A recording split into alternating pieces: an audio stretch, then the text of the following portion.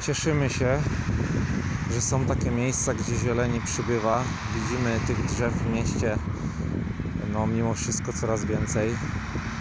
Tu ulica Roosevelta przedfabryczną. Też kolejne takie miejsce i ciągnie się to tam dalej aż za łuk. Tylko zastanawiamy się, czy to jest zrobione z głową. Widzimy ten szpaler drzew, który od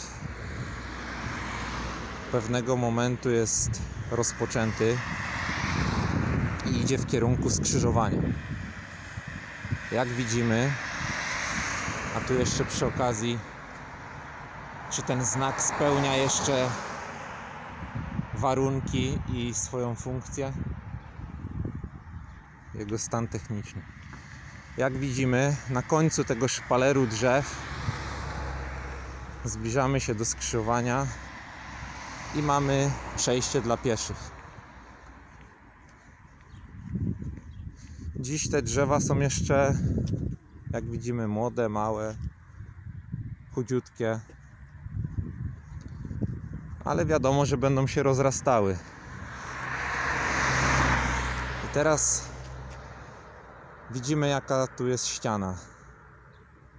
Czy to jest zrobione rozsądnie?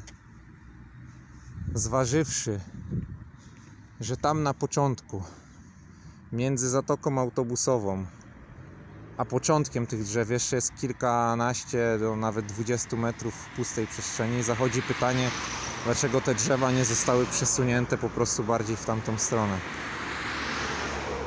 Cieszymy się z zieleni, z drzew, ale prosimy, żeby bardziej przemyśleć tą kwestię pod kątem właśnie bezpieczeństwa pieszych, widoczności, zwłaszcza, że za chwilę wchodzą przepisy, które będą rozszerzały pierwszeństwo pieszych jeszcze na przestrzeń przed przejściem, nie tylko na przejściu, ale jeszcze przed. Więc ta widoczność jest tym bardziej potrzebna. Apelujemy o zwrócenie uwagi na takie kwestie.